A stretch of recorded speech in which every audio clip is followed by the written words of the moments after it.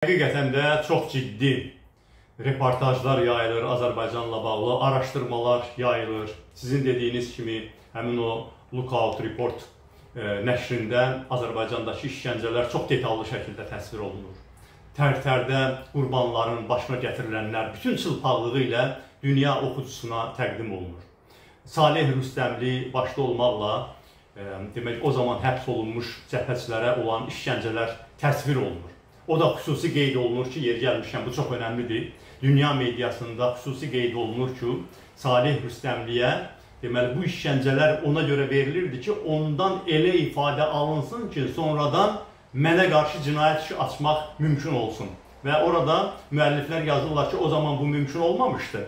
Amma bu yaxınlarda deməli avqust ayında Əl-Kərimliyə qarşı artıq uydurma bir cinayət işi başlanıb. Deməli bizimlə bağlı proses isə dünya birliyinin diqqətindədir. Amma ən önəmli olanı budur ki, uzun illərdən sonra Azərbaycandakı işgəncələr, repressiyalar detallı şəkildə, araşdırılmış şəkildə hamısı dünya ictimaiyyətinə təqdim olunur. Və burada tamamilə haqlısınız ki, Belarusla istər-istəməz bir paralellik görünür.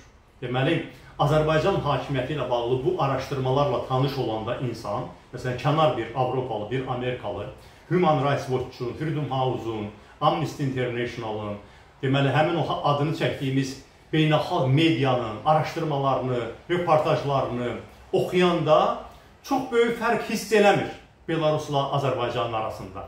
Sadəcə işi dərindən bilənlər bilir ki, hə, Belarus bir addımda Azərbaycandan öndədir, rəqəmlər orada daha böyükdür. Demək olar ki, orada baş verənlərin hamısı elə Azərbaycanda da baş verir. Sadəcə orada miqyas biraz da böyükdür. Deməli, Azərbaycan həqiqətən də həmin o Belarusun Lukashenkonun açdığı cığırla gedir. Dünyada belə təəssürat yaranır. Xüsusilə də indi. Bir zaman var idi ki, açığı. Biz gərək bunun fərqində olaq. Məsələn, tərtər cinayətləri nə zaman baş verib? 2017-ci ildə. Üstündən neçə il keçib? O zaman çətinlik çəkirdik Azərbaycan ictimaiyyəti olaraq bu cinayətləri dünyaya təqdim eləməkdə. Amma üzərindən illər keçəndən sonra artıq bu barədə məlumat bütün dünyaya yayılıb. O cümlədən Salih Rüstəmli ilə bağlı olan həmin bu işgəncələr zamanında biz bunu yaymağa çətinlik çəkirdik. Demək olar ki, Azərbaycan ictimaiyyəti daha çox məlumatlı idi və hüquq müdafiəçiləri beynəlxalq. Amma dünya ictimaiyyəti məhz bu işgəncələr, həbslər, kütləvi repressiyalarla bağlı indi xəbərdar olur və bir daha vurğulayıram ki, əlbəttə ki, Belarusla müəyyən bir paralellik yaranır. Mən indi onu dəqiq bilmirəm ki, beynəlxalq ictimaiyyət bütün bu hesabatlardan necə istifadə edəcək. Amma mən onu dəqiq bilirəm ki, beynəlxalq ictimaiyyət, yəni demokratik dünya açıq bunu ifadə edək, avtoritar rejimlərə və diktaturalara qarşı yeni-yeni üsullar axtarıb kəşf etməyə çalışırlar. Yəni əvvəlki üsullar nə idi? Əvvəlki üsullar deməli həmin o diktator rejimlərə, avtoritar rejimlərə beynəlxalq sanksiyalar qoymaq idi bir bunu tətbiq edirdilər. Bir də həmin ölkələrin xalqları hansısa bir e, məxbəri inqilaba cəhd edəndə ona informasiya dəstəyi verilirdi. İndi artıq bu Rusiya-Ukrayna savaşı illərində bunu mən bir mənalı şəkildə deyə bilərəm ki, dünya birliyi avtoritar rejimlərə qarşı özünün mexanizmlərini, vasitələrini genişləndirir. Hansı vasitələrdir bu? Bax, biri bunu Beynəlxalq Cinayət Məhkəməsidir. Beynəlxalq Cinayət Məhkəməsi artıq Vladimir Putinlə bağlı həbs qərarı verib. Və indi sizin xatırlatdığınız Belarusla bağlı çox mühüm bir president, nümunə yaradılır. Nədir bu? Yəni Putinlə bağlı məsələ aydın idi. Gedib Kiyevi, Xarkovu, Ukraynanın dinc şəhərlərini bombalatdırır, işğalçılıq müharibəsi aparır. Bunun Beynəlxalq Cinayət Məhkəməsinin subyekti olması tamamilə aydın məsələdir.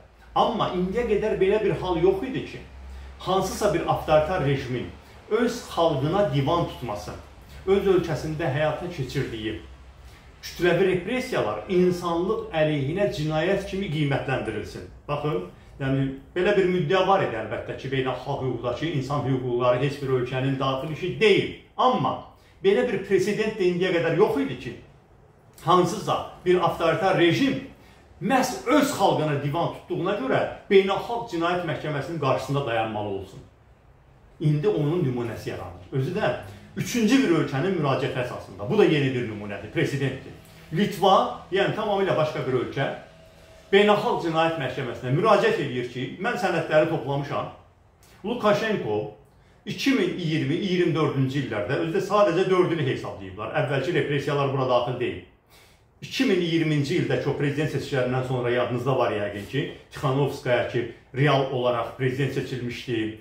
Belarus vətəndaşlarına divan tutuldu və sərt repressiyalar başladı. Bax, ondan sonraki repressiyaları sənədləşdiriblər hamısını və Beynəlxalq Cinayət Məhkəməsinə təqdim ediblər ki, Belarus xalqı da insanlığın bir parçasıdır. Biz insanlıq haqqında danışanda Belarus xalqı da onun içindədir. Ona görə də Belarus xalqına qarşı törədilmiş bu cinayətlər həm də insanlıq, bəşəriyyət əleyhinə cinayətdir. Və Beynəlxalq Cinayət Məhkəməsinin prokuroru da dərhal bəyan elədi ki, biz bu işi icraata götürürük və araşdıracağıq. İndi biz onun nəticəsinə baxacağıq. Əgər Lukashenko ilə bağlı həbs orderi verilsə, Beynəlxalq Cinayət Məhkəməsindən bu fakt deyil ki, onu dərhal tutacaqlar. Əlbəttə ki, dünyanın xeyli ölkəsi bu avtoritar rejimlər bir-birini himayə edirlər və onlar o beynəlxalq cinayət məhkəməsinin yurisdiksiyasını qəbul eləmirlər. Amma daha bir yeni bir president yaranır. Artıq öz xalqına divan tutan avtoritar rejim başçılarının belə dünyada e, heç nə olmamış kimi gəzib dolaşmasına imkan olmayacaq və bunun siyasi mənasında çox ciddi olacaq. Bu bir president. İkinci president. İkinci president ondan ibarətdir ki, yenə də bunu artıq deməli Lukashenko və Maduroya tətbiq ediblər beynəlxalq birlik seçki saxtakarlığını əsas götürərək saxta yolla özünü prezident elan etmiş şəxsləri prezident kimi tanımır. Bir daha vurğulayıram ki, artıq Lukashenko və Venezuelanın diktatoru Maduro ilə bağlı belə qərarlar artıq var. Bu da bir presidentdir. Sən burada istədiyin qədər seçki saxtakarlığı edirsən, protokolları saxtalaşdırırsan, rəqibinin aldığı səsləri də özünə yazırsan, amma dünya birliyi də onun üzərindən bir xətt çəkir, deyirsən prezident deyilsən. Mən səni heç prezident kimi də tanımıram. Bu ikinci prezident nümunə yaradılıb. 3. ABŞ çox yaxşı bir qanun qəbul edib. O qanuna görə, korrupsiya ilə mübarizə haqqında qanundan gedir söhbət. O qanuna görə ABŞ vətəndaşlarına rüşvət verən şəxslər digər ölkələrin vətəndaşlarıdırsa, ABŞ yurisdiksiyasına görə onlardan mühakimə eləmək olar. Yəni ABŞ vətəndaşlarına istənilən ölkənin korrupsioner rejim təmsilçiləri pul verməsi aşkarlansa, deməli həmin ölkənin vətəndaşları haqqında cinayət işi başlana bilər. Bilirsiniz ki, bunun da Azərbaycan hakimiyyətinə gəlib çıxma şansları çox yüksəkdir. Eləcə də bütün başqa avtoritar rejimlərə münasibətdə. Deməli, bax bu da çox ciddi bir presedentdir ki, lazım olanda həmin o avtoritar rejimlərə qarşı bu üsuldan da istifadə edilsin. Və nəhayət sanksiyalar indi çox ciddi şəkildə təkmilləşdirilib. Əvvəlki kimi deyil. Artıq Rusiyaya qarşı sanksiyalardan sonra dünya birliyi indi o sanksiya rejimini daha ciddi o ikincili sanksiyalarla, əlavə sanksiyalarla, yəni o sanksiyalardan yan keçmə variantlarının qarşısını almaqla onu daha etibarlı bir vasitəyə çeviriblər. Və biz bunu gördük harada? Venezuelada. Venezuelada 4 ilin ərzində rejimin üzərinə qoyulmuş neft satışı sanksiyalarının nəticəsində Maduro rejimi 232 milyard itirdi və sonra getdi müxalifətlə, ABŞ-ın tələbi ilə danışıqlara seçkini babat keçirdi və uduzdu. Amma son anda yenə də ləyaqəti çatmadı ki, xalqın səsi ilə hesablaşsın. İndi yenidən o sanksiyalar bərpa olunacaq, bəlkə də bərpa olunub artıq və Maduro rejimi həmin yenidən o səfalət vəziyyətinə düşəcək. Deməli, sanksiya rejimi də həddindən artıq sərtləşdirilir. Bütün bunların hamısı avtoritar rejimlərə münasibətdə dünyanın dayanmadan işlədiyini göstərir. Yeni mexanizmlərin yaradıldığını göstərir. Və ən vacibi açığı, mənə elə gəlir ki, ən vacibi odur ki, avtoritar rejimlərin hamısının himayədarı olan Rusiyanın, Rusiyadakı avtoritar rejimin məğlub edilməsi ilə bağlı ciddi siyasi qərar var. Bu danışdığım hüquqi mexanizmlərdir. Amma siyasi olaraq bütün bu avtoritar rejimlərin Şimali Koreyadan Belarusa qədər, Kubadan Nikaragvaya qədər bunların hamısının arxasında duran Rusiyadakı rejimdir. Hətta o Afrikada tez-tez çevriliş edib dövlətləri məhv edən o cinayətkar qruplar da gücü, qüvvəti, pulu Rusiyadan alırlar. Ona görə də Rusiyadakı rejimin məğlub edilməsi dünya avtoritarizminə vurulacaq növbəti böyük bir zərbə olacaq Və bu baxımdan hesab edirəm ki, dünya birliyi yatmayıb, avtoritar rejimlərə qarşı, diktaturalara qarşı mübarizə təcrübəsini təkmilləşdirir. Onların sıraları da seyrəlir. Baxın, bax bu yaxınlarda çox maraqlı hadisə baş verdi. Cənub-Şərqi Avropa ölkələrinin toplantısı keçirildi və orada Putinin və İlham Əliyevin qədim dostu Vucic Rusiya əleyhinə bəyanatı imzaladı. Yəni tərəfini dəyişdi. Bundan biraz əvvəl, bir neçə ay əvvəl ABŞ-la strateji tərəfdaşlıq sazişi imzalamışdı. Yəni Serbiya yavaş-yavaş başa düşür ki, Rusiya uduzur, avtoritar rejimlərin perspektivi qalmır və Serbiya qoşulur Avropa Birliyi tərəfə. Avropa Birliyinə qoşulmaq istəyi güc gəlir və ona görə də Rusiya əleyhinə bəyanata birinci dəfə Serbiyada qoşuldu. Sıralar seyrəldimi? Seyrəldi. Yer gəlmişən həmin bəyanata Türkiyə də qoşuldu. Düzdür, Türkiyə onsuz da NATO üzvü olan ölkə kimi ilk gündən e, Ukraynaya ciddi dəstək verib. Amma bu bəyanat birbaşa deməli Rusiyaya qarşı idi və bu bəyanata da Türkiyə qoşuldu.